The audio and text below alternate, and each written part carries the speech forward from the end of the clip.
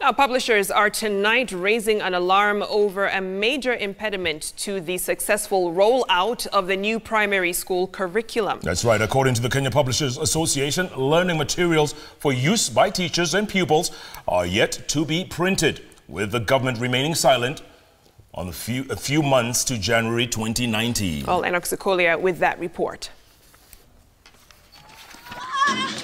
The rollout of the new curriculum is already facing challenges, with the Kenya Publishers Association now claiming that the Ministry of Education is delaying the process by failing to provide proper guidelines. We are not aware of any steps so far taken by the government to ensure books are available for learners in preschool, preparatory 1 and 2, grade 1, 2 and 3.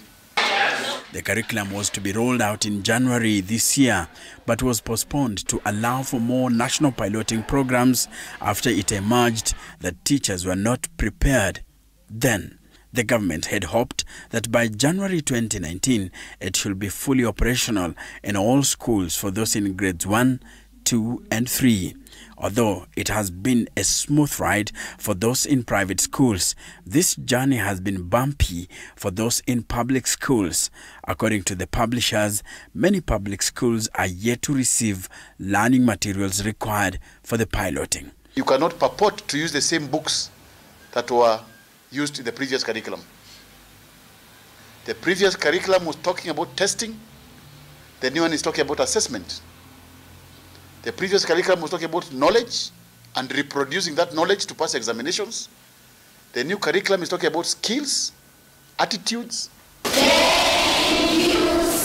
On several occasions, the government has had to defend itself with regard to the implementation of the new curriculum. No cause for alarm has remained the answer, but questions are yet to disappear. When you review a curriculum, the most important and critical thing is the learning and teaching materials and training of teachers.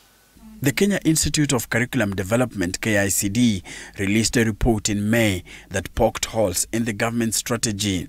The report indicated that one in every five teachers was not prepared to implement the system as from next year, majority of them not fully aware of their role. The report stated that only 3% of the teachers said they were very well prepared, while only 20% said they were well prepared.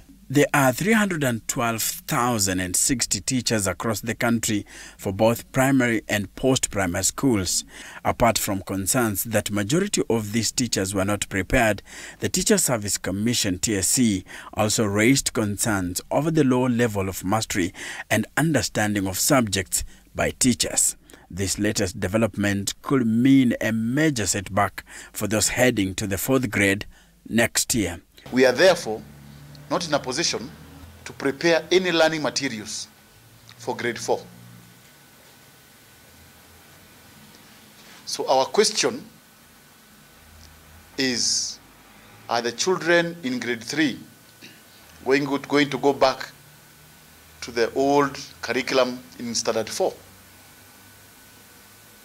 That we can't answer.